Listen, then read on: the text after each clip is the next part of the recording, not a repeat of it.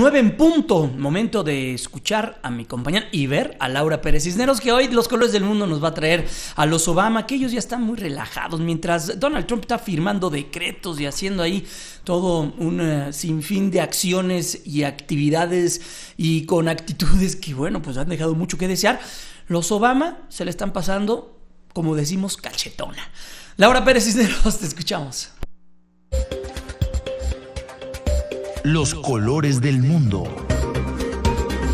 Querido Jaime, muy buenos días, bienvenidos a Los Colores del Mundo. ¿Qué tal este fin de semana de puente? Pues si usted sale, qué padre, diviértase, pásela bien. Mañana ya saben, es el, es el Super Bowl donde va a estar en el medio tiempo Lady Gaga. Y bueno, aquí nuestro Chris Ahumada nos va a dar todos los detalles del Super Bowl aquí en tu espacio, Jaime. Pero fíjate que te quiero hablar y quiero retomar la historia de una mujer que realmente, sin haberse ganado la corona de Miss Universo, ella yo creo que se convirtió, ¿sabes qué, Jaime? En una digna representante de mujeres comunes y corrientes, mujeres como, como yo, como, como cualquier persona que vas en la calle caminando y te encuentras una chava que sea guapa y que a lo mejor no tiene las super tallas delgadititas y que es talla cero y, y que es 90, 60, 90 y que tienen esa presión, porque de verdad creo que sí es muy, muy triste que muchas mujeres se sientan tan presionadas por lucir delgadas, que vas a una tienda y usted señora o amigas que, que me están viendo, seguramente de repente es frustrante porque a mí me ha pasado que vas a una tienda y te pruebas la talla M que según tú piensas que es la que te corresponde y bueno, te cabe en una pierna.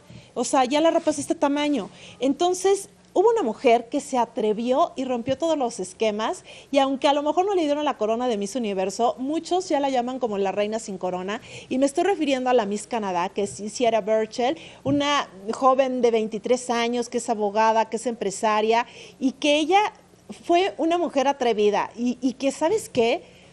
Jaime, que lució realmente esa belleza que tiene, porque realmente no es una mujer que sea este, de una talla exuberante, es una mujer que debe de ser una talla 9 o 10 y que se sintió muy em, bien con ella y eso lo transmitió. Ustedes pudieron ver cuando ella salía desfilando con tal alegría y fue tanto que ella quedó entre las semifinalistas en el pasado concurso de Miss Universo. Pero lo que más me encantó es que ella ahora, después de que terminó este concurso, pues ha transmitido mensajes a través de sus redes sociales, donde por ejemplo ella dice, Apenas comencé a amar quien era en lugar de siempre encajar en lo que pensaba que la sociedad quería de mí, descubrí toda una nueva faceta de mí, porque ella, igual que muchas mujeres, eh, luchamos con el peso y, y, entonces de verdad que sí, a veces es muy frustrante y nos pone muy tristes, chicos, de verdad, por querer parecer y ser más bellas. Y entonces ella dijo, ¿sabes qué? Pues a lo mejor no bajo tan rápido, no bajo los kilos que tendría que bajar y entonces decidió, así de sencillo, ser feliz con lo que tiene. Y creo que Sierra es, un, es una, un gran ejemplo, Jaime, de lo que las mujeres deben de ser. Y ojalá que de verdad este movimiento que ella está comenzando, pues tenga mucho más repercusión. Porque sabes qué, Jaime, creo que esto va a ser a favor de muchas jovencitas que padecen anorexia, que padecen bulimia, que son cifras de verdad pero terribles las que suceden en, de que muchas jovencitas por querer ser guapas, según ellas, pues muchas de ellas pierden la vida. Así que, pues como lo dijo la Miss Canadá, esta es la generación de la diversidad de cuerpos. Esta es la era para comenzar a trabajar juntos para redefinir la visión global de la belleza.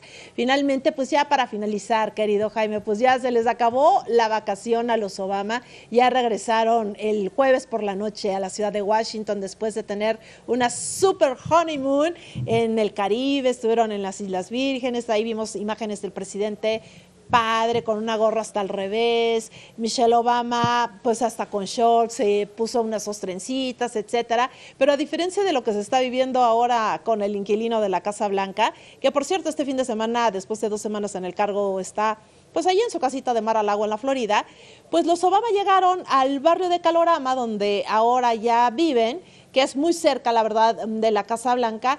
y los recibieron con letreros que decían bienvenidos a casa. Así que bueno, pues es puente. Hoy sí quise platicar una historia de éxito como es esta de la Miss Canadá y ya seguiremos comentando lo que pasa aquí en los colores del mundo. Que tengan una estupenda mañana. Muy buenos días. Los colores del mundo. Gracias, Laura Pérez Cisneros. Vamos a una pausa. Son las 9 con 5 minutos. Hace frito ¿eh? en algunas partes de la República Mexicana. Abríguese, ya nos decía Fernanda Getamayo. Así que bueno, pues abrigarse y estar muy, muy, pues, disfrutar hay que disfrutar este fin de semana, el primero, el primer fin de semana largo. Ya lo decíamos en el bloque anterior, estamos celebrando los 100 años de la Constitución.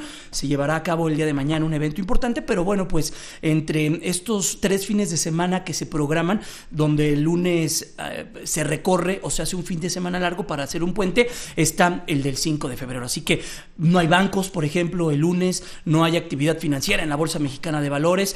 Hay que estar muy al pendiente porque para como vamos, yo creo que el no circula seguirá, seguirá para la gente que vivimos aquí en la megalópolis. Así que bueno, pues hay que poner mucha atención porque yo creo que el programa, al menos el no circula, seguirá este próximo lunes 6 de febrero. Una pausa, 9 con 6, estamos de vuelta.